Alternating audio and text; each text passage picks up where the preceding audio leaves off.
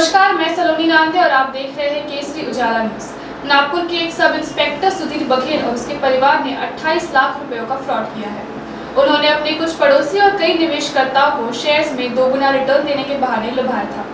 Sub inspector के बेटे ओम ने फिरियादी शुभम चौधरी को शेयर मार्केट में निवेश करने को कहा।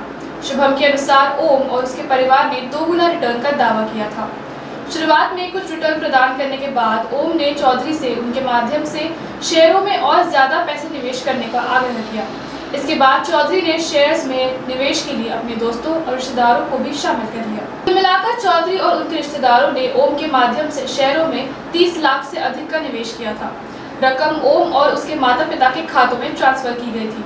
चूँकि ओम ने वादे के मुताबिक रकम नहीं लौटाई तो चौधरी ने रकम वापस करने के लिए उस पर दबाव बनाना शुरू कर दिया। ओम ने चौधरी को लगभग दो लाख रुपए लौटाए, लेकिन बाकी के पैसे नहीं। मानकापुर पुलिस ने सुधीर बघेल और उसके परिवार के खिलाफ मामला दर्ज किया है। जैसे ये खबर सुधीर को मिली तो वे और उसका परिवार अंडरग्राउंड हो गए। पुलिस इस मामले में जाँच कर रही है।